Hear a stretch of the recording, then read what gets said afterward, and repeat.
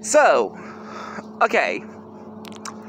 So, about a year ago, around like the end of April, like on the 27th or 8th of 2022, I did a, a video called I Saw the Batman on HBO Max.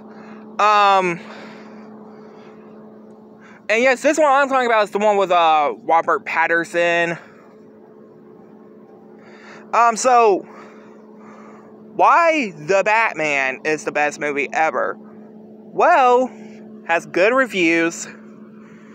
Two, Little Caesars, the pizza restaurant, did a promotion for the movie called The Batman Calzone.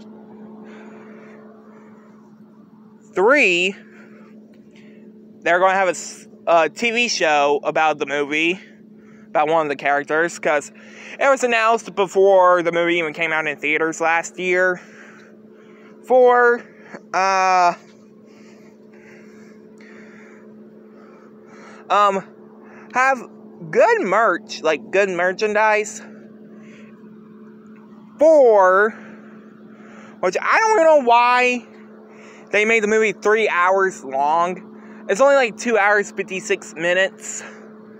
But anyway, guys, hope you guys like, comment, subscribe.